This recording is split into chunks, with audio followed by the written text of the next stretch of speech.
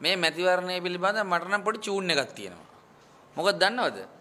2015 දී අපේ පාක්ෂිකයෝ උගුරේ ලේරහ වෙනකන් කෑ ගහලා දාඩිය පෙරාගෙන කැන්වසින් ගිහිල්ලා ගුටි බැට කාගෙන ආණ්ඩු හැදුවහම ඒ පාක්ෂිකයන්ට කොකා පෙන්නපු කණ්ඩායම් දෙකක් හිටියා.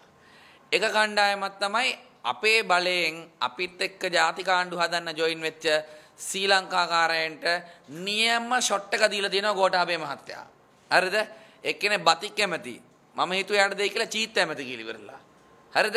දැන් සිරිසේන මහත්තයාට නියමාතල් වැඩේ වෙලා තියෙන්නේ. ඉතින් ඒ නිසා UN දැන් දුමින්ද දිසානායකලා හිටියේ මොනවාමද? කුසිකර්ම ඇමති. චන්දෙම වීරකොල්ල හිටියේ කොහමද?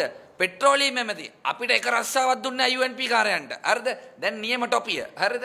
ඇමතිකම හම්බෙලත් නැහැ. දැන් ඊළඟට SP දිසානායකට ඇමතිකමක් නැහැ. දිස්ත්‍රික් සභාපතිකමක්. ඒක දීපන් ළමයෙකුට කියලා තමයි දැන් අපිට කියන්න තියෙන්නේ. ඕක දීපන් ළමයෙකුට කියලා ඉවරලා. ඉතින් ඒ නිසා මේකේ ශ්‍රී ලංකා කට්ටියට හොඳම වැඩේ.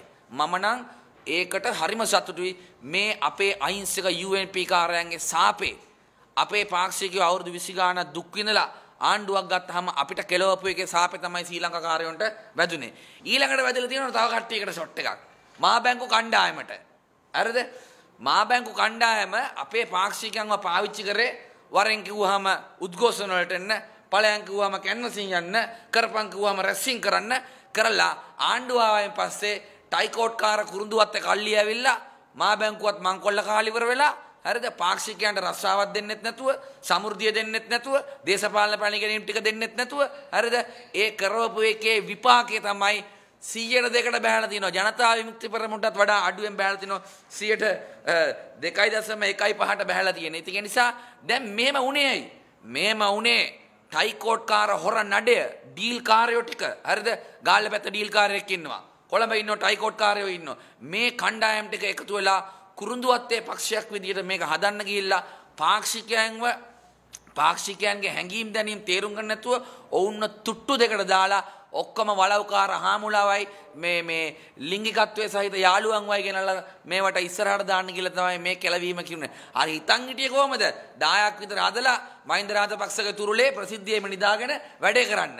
දැනුත් මේ ජාතික ලයිස්තුවට කන පොර කෑමේ එක්සත් ජාතික පක්ෂයේ මෙහෙම වෙලා තියෙනවද කවදාවත්?